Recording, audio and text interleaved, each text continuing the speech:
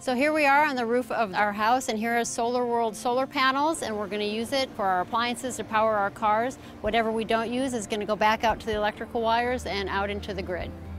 Since SolarWorld has been in business for 35 years, they've been able to perfect their solar panels. SolarWorld gives us a very, very high return on investment because the wattage out of each one of the panels is significantly higher than their competitors. So we get a lot more energy per dollar.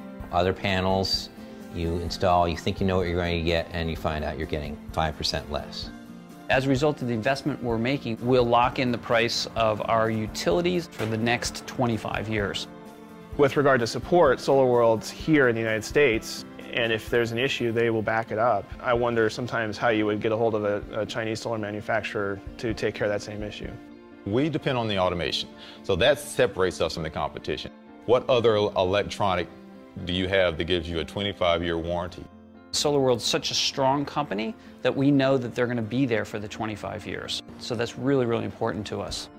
Another manufacturer installed panels on our neighbor's house, and we're excited for them until we realized that they installed them on the north side of the roof. There's no yield on the north side of the roof. They can't get a return on investment. They were sort of complaining like these solar panels don't work.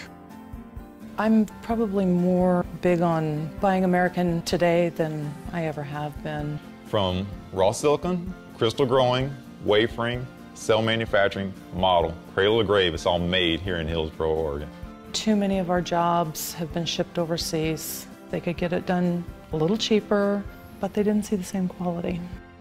SolarWorld said to us, we only use approved installers who we've hand trained and picked for the process. And as a result of that, it's, it's going flawlessly. One of the things with this process is it's a lot of paperwork. We have a turnkey service where all they have to do is sign some paperwork. We produce it all for them. There's a lot of setup work for this, and we take care of it all.